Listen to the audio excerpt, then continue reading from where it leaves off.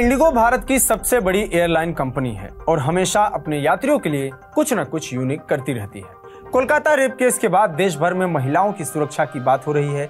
लोग सड़कों पर उतरकर प्रदर्शन कर रहे हैं। ऐसे में इंडिगो ने भी एक बड़ा ऐलान किया है। इंडिगो ने महिलाओं को ये सुविधा दी है कि वो फ़्लाइट में यात्रा से पहले ये तय कर सकती हैं कि उन्हें किसी पुरुष यात्री के बगल में बैठना है या नहीं बैठना है।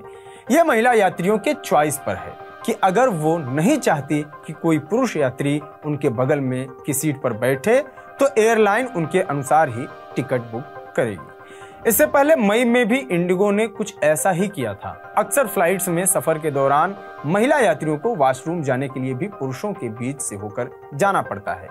इसमें उन्हें झिझक महसूस होती है, लेकिन अब इंडिगो एयरलाइन ने महिलाओं के लिए अपनी फ़्लाइट में नई सेवा चालू कर दी है। जिसके तहत महिलाएँ अपनी सीट चुन सकती हैं। अब इंडिगो ने महिलाओं को यह विकल्प दिया है कि उनके आसपास कोई भी पुरुष यात्री नहीं बैठ सकते हैं। इंडिगो एयरलाइन अपने यूनिक तौर तरीकों के लिए जाना जाता है। हालाँकि कभी कभी कुछ ऐसा हो जाता है कि उस पर सोशल मीडिया पर बहस शुरू हो जाती है। जैसे क्या आपने सोचा है कि फ़्लाइट में कोई आपसे क्यों चार्ज वसूलेगा? लेकिन हाल ही में एक यात्री के साथ इंडिगो की फ़्लाइट में ऐसा ही हुआ। दरअसल एक वकील ने लखनऊ से बेंगलुरु की इंडिगो फ़्लाइट का टिकट बुक किया और टिकट के भुगतान विवरण में एक क्यूट फ़ीस देखकर हैरान रह गया। लखनऊ से बेंगलुरु की फ़्लाइट टिकट बुक करने वाले एक वकील ने इंडिगो एयरलाइन से क्यूट फ़ीस के बारे में सवाल किया।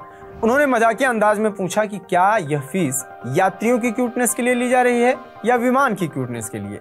बाद में इंडिगो ने इस पर सफ़ाई दी कि क्यूट फ़ीस दरअसल हवाई अड्डे पर उपयोग किए जाने वाले उपकरणों के लिए ली जाती है। इंडिगो एयरलाइन ने सफ़ाई दी। क्यूट फ़ीस का मतलब कॉमन यूज़र टर्मिनल इक्विपमेंट शुल्क है, जो हवाई अड्डे पर उपयोग होने वाले मेटल डिटेक्टर एस्केलेटर और अन्य उपकरणों के उपयोग के लिए किया जाता है। ये जानकारी आपको कैसी लगी? कमेंट बॉक्स में बताएँ। जुड़े रहिए टीवी नाइन डिजिटल के साथ। नमस्कार।